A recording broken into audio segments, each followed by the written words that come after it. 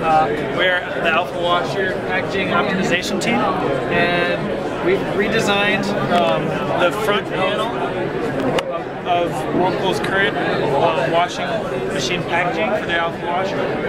Um, we've changed three main things. We've removed a notch, this notch right here, um, in order to strengthen it.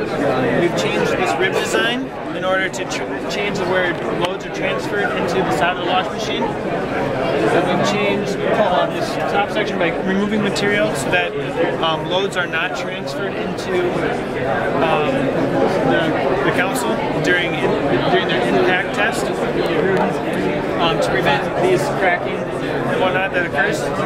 Um, the other project had to do with uh, basically the amount of material being used and we've removed material from the top panel to reduce the cost of material and the cost of recycling the material.